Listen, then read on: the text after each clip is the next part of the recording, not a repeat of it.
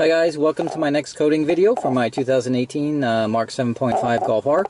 Uh, today we are going to be disabling the annoying beep that happens when you are um, you have the ignition on in your car and you open your driver's side door and it beeps continuously. So in other words, you can't really have the radio on or anything. It'll just keep beeping, beeping, beeping.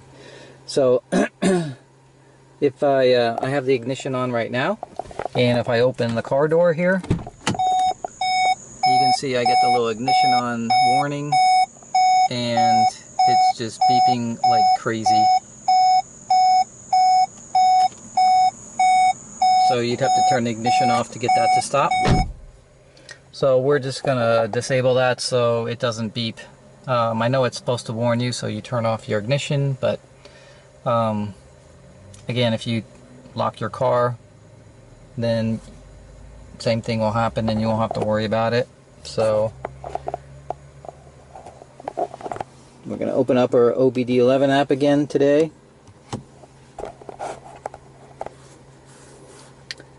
Okay, and this time we're going to go into the control unit 17. Now again, this varies a little bit by what you might see on the forum. So it's called Dashboard in the new software. I think on the uh, Mark 7s it was labeled as Instruments or something like that. But you're going to go under 17 for Dashboard. Then we're going to go down to Security Access. You're going to type in 25327. And hit OK. It'll say it's been accepted. Then we're going to go to adaptation. And we're looking for an entry that says ignition active. So they're all in alphabetical order. So if you just scroll down, so it's ignition active message actuator in this particular case. So it's a little bit different than what it used to be. Um, so again, the wording has changed.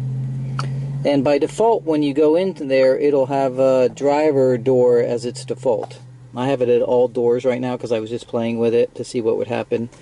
Um, but what you want to change it to is no display. Okay. So what happens is in the display you won't get that message and then um, the beep won't go along with it at the same time. So again you're in ignition active message actuator and you're gonna say okay no display and then push and hold and then you should get adaptation accepted. So now, again, we still have the ignition on. If I open my driver's side door, no noise, no annoying beep. Okay, you also don't get the little message in the dash that says ignition is on. Okay, but there's no annoying beep. Okay, and if I start the car, actually let me uh, disconnect the OBD11 here first.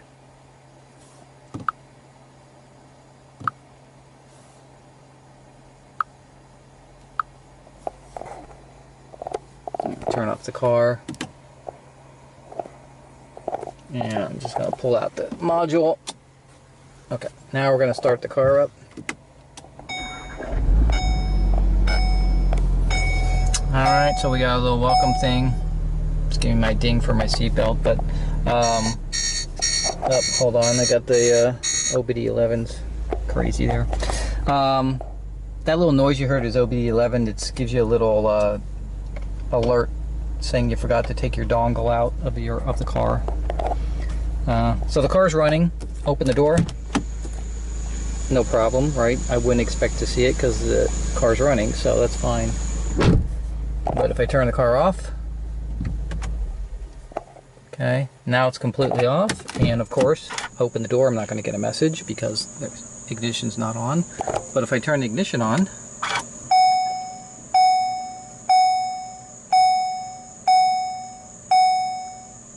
Okay, now I don't get that annoying beep that's telling me my ignition is on. So that beep I was getting before, that was like beep, beep, beep, beep, which, by the way, does not stop. It just keeps going until you either close the door or turn off your ignition. So if you're in your car cleaning it, you want to listen to your music or something like that, you'd have to listen to the annoying beep. Now, no longer have to. So that one is disabled.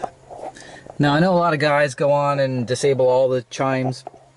They disable the seatbelt chime and everything. I'm not going to do that um, because the seatbelts are a safety thing. And honestly, I've had a couple of cases where a passenger forgot or didn't put their seatbelt on, and I didn't notice it. Um, and then the chime went off. Um, that the seatbelt wasn't fastened. So it's it's uh, I mean everybody fastens their seatbelt usually when they get in the car. So there's no reason not to have that uh, on because um, it doesn't it doesn't chime when you're just standing still and you have the ignition on. You only get those six little chimes and it stops right away. So I'm not turning that off on mine. Uh, I know lots of guys do. Um, but for me, this is the only annoying uh, beep that happens when you're in the car, you have the ignition on, and you know the doors open, and you're doing something, but you don't want to hear this beep. So, so that's it. So I'll show you the uh, final uh, coding steps in a second. Uh, again, hope you enjoyed the video, and uh, look look for my next one coming up soon.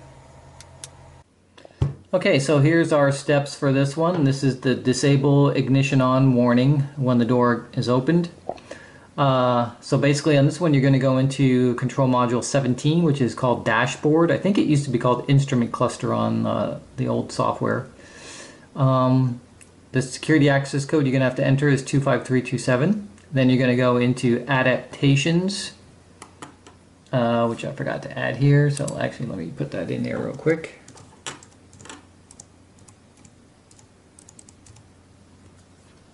And then once you get to adaptation, you're going to do, you're going to search for the entry called um, ignition active message actuator. And it will by default be set to driver's door. And you want to change it to no display. So there's three choices, driver's door, all doors, or no display. So no display will turn it off. Um, and that's it, pretty simple one. Now, a quick note about this um, if you notice in my video when I opened the door when I had the ignition on before I changed it the dashboard came up with a message saying the ignition was on and you got that uh, that beep that annoying beep that just kept going on and on so since you won't get that now um, there is a possibility that you could turn the ignition on in your car whether you're cleaning it and whatever you're doing and forget to turn it back off so since you're not going to get that warning anymore, what will happen is when you close the car door and you try to lock it, the car won't lock. And if you look inside the door, inside the window, you're going to see on the dash it's going to say something like the key's not in range or something like that, or key can't be located. And the ignition and everything will still be on. It will not turn off. Uh, so I don't know if it has a timer on it or not. Eventually will turn off, but uh, just keep that in mind that um, you won't be able to lock the car until you go into the car and then turn the ignition off manually. So that is why they have this warning message. So I'm not uh, I'm not 100% sure I'm going to leave it off yet. We'll see what happens. Um, because when I pull into the driveway, remember I coated it before so that when you open the door, it will shut off all the electronics, right? So I pull into the driveway, I shut off the engine, the electronics are still on, but as soon as I open the door handle, the driver's side door, everything shuts down. And then I close the door and lock it, and that's pretty much it. The only time that I would have a problem is if I just opened the car up, didn't start the engine, and just turned on the ignition. Because I want to listen to the radio while I'm doing something in the car or whatever. Now, when I leave the car, I won't get a warning anymore. I'm going to have to make sure I remember to turn off the ignition. Or, when I try to lock the car, I should notice that the car doesn't lock. Like, you won't hear the door locks lock. If you have the flash, your lights flash, or the beeping sound, you'll notice you don't get that either. So you should know the car is not locked. But if you look through the window, you're going to see it's still on the uh, dashboard, everything is still up and running, and you're going to get a message saying it can't find the key or the key's not in range. So just just a side note with this one, you know, everything has a cause and an effect. So before you just think you're going to get rid of that annoying beep, think about also like how many times it might save you by telling you the ignition is on. So just uh, play with it, give it a give it a try, see which way you like it, and again, you can always turn it back on. All right, so that's it for this video, and uh, look look for some other ones coming up pretty soon. Thanks.